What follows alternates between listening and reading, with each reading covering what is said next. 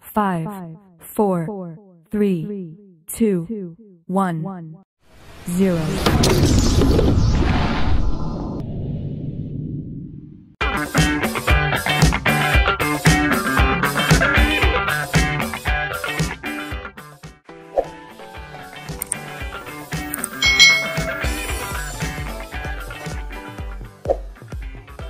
Hai hai hai. Selamat datang di channel youtube Kak Citra. Halo adik-adik semuanya. Apakah kalian siap belajar bersama Kak Citra hari ini? Hari ini kita masih belajar di tema 4 Globalisasi. Subtema 1 Globalisasi di sekitarku Pembelajaran yang keempat. Ayo adik-adik kita belajar dengan penuh semangat Globalisasi membuat dunia tanpa batas. Kita bisa berkomunikasi dengan teman-teman kita di tempat yang berbeda. Apakah ada contoh lain dari era globalisasi yang kamu rasakan? Nah, adik-adik, saat ini globalisasi ini membuat kita bisa berkomunikasi dengan orang lain, mau berbeda daerah, berbeda negara pun kita masih bisa berkomunikasi dengan mereka melalui handphone, melalui Facebook, Instagram, bahkan YouTube. Lalu kita bisa uh, melalui email juga bisa adik-adik. Ternyata globalisasi itu mempunyai dampak yang positif juga. Globalisasi sama dengan dunia tanpa batas. Globalisasi sebuah kata yang sering kita dengar dalam berbagai topik percakapan. Sebuah kata yang sering kita baca di surat kabar atau majalah. Apa arti globalisasi adik-adik? Nah, globalisasi dapat dimaknai sebagai sebuah proses mendunia. Global itu kan dunia adik-adik, jadi globalisasi itu mendunia. Seluruh bangsa dan negara di muka bumi ini semakin terhubung satu dengan yang lain. Seakan tidak ada batasannya adik-adik ya seakan tidak terpisah lagi oleh batas wilayahnya. Nah, era globalisasi ini seakan disebut sebagai dunia tanpa batas. Kita dengan mudah menemukan berbagai produk dari Jepang, Korea, Cina, Amerika, Jerman, dan berbagai negara lainnya. Begitupun produk Indonesia juga bisa ditemukan di banyak negara.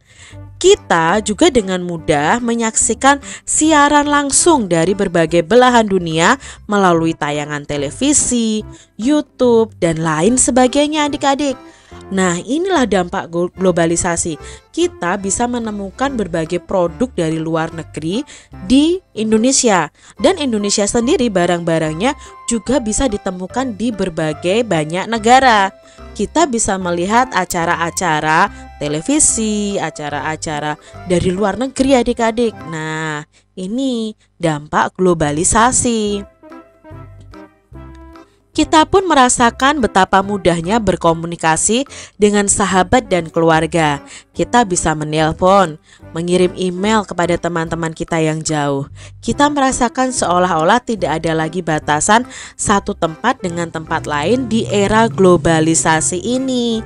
Nah, kita bisa video call dengan saudara kita yang mungkin jauh ya, bahkan mungkin di luar negeri.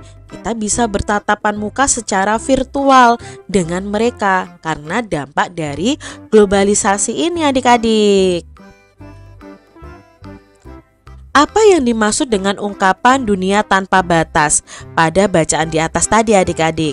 Nah, dunia tanpa batas ini adalah seluruh negara bisa saling terhubung yang seakan-akan tidak terbatas oleh batas wilayah, makanya disebut dunia tanpa batas. Apa yang dimaksud dengan globalisasi? Berikan contoh dalam kehidupan kita sehari-hari.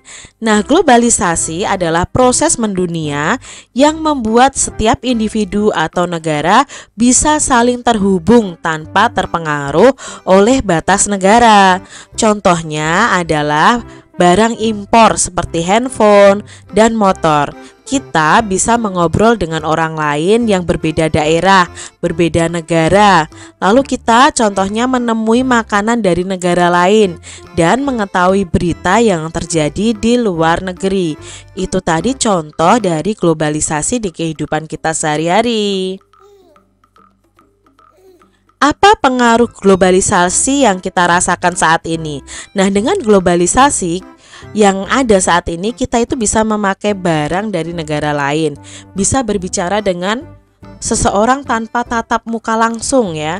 Sekarang modelnya tatap muka virtual atau video call atau bisa pakai Zoom meeting, pakai Google Meet.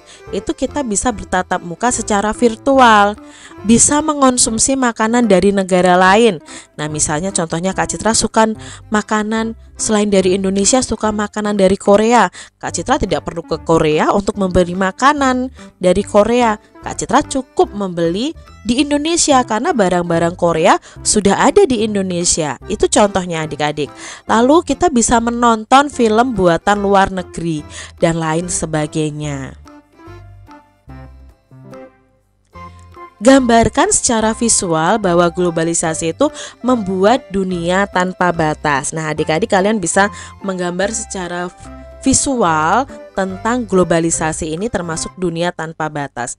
Nah, Kak Citra di sini punya contoh gambarnya saja, gambar uh, visual yang menggambarkan tentang globalisasi itu membuat dunia tanpa batas.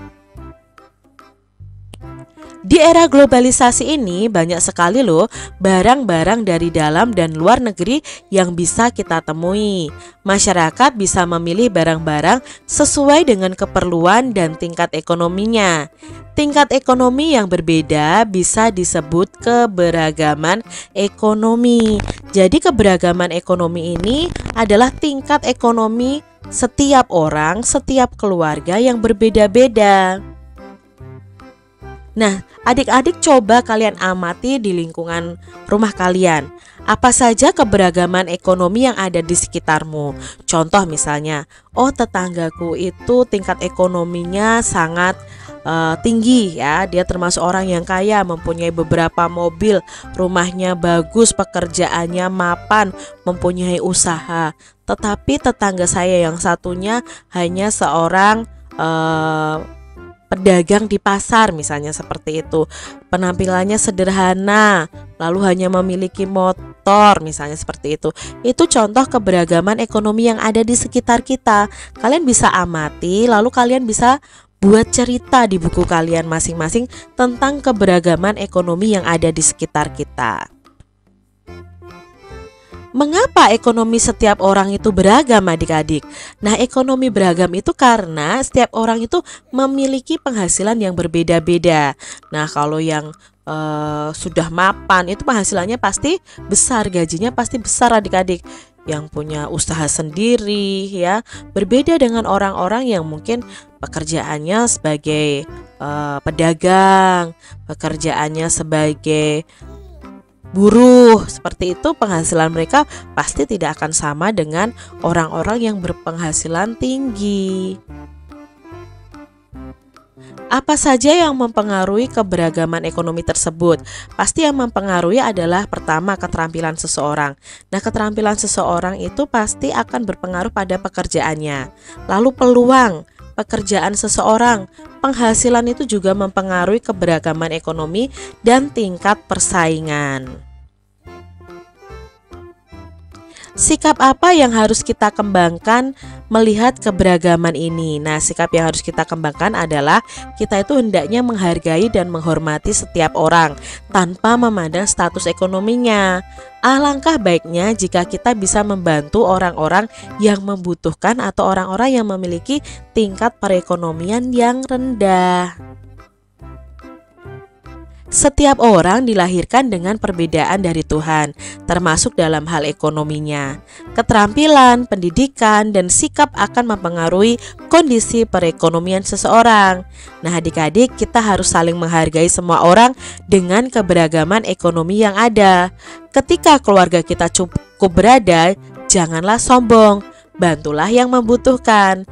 Jika keluarga kita masih kekurangan, jangan malu dan iri dengan mereka yang mampu. Teruslah berusaha dan tingkatkan kemampuan diri. Ceritakan tentang kondisi ekonomi keluargamu nih, tugas untuk adik-adik. Lalu tuliskan apa sih rencana yang akan kamu lakukan untuk menghadapi era globalisasi ini. Jadi kalian tidak perlu malu menuliskan kondisi ekonomi keluarga kalian. Kalian tuliskan di buku tulis kalian masing-masing ya. Demikian tadi adik-adik pembahasan kita di mata pelajaran tematik kelas 6. Semoga video pembelajaran ini dan penjelasan Kak Citra bisa bermanfaat untuk adik-adik semuanya. Tetaplah menjadi anak yang sehat, semangat, dan tekun belajar ya. Sampai jumpa lagi di video pembelajaran Kak Citra selanjutnya. Tuhan memberkati. Jangan lupa tekan tombol subscribe, lalu tekan loncengnya tekan juga tombol like, lalu share ke media sosial kalian. Jangan lupa untuk ikuti media sosial Kak Citra. Terima kasih.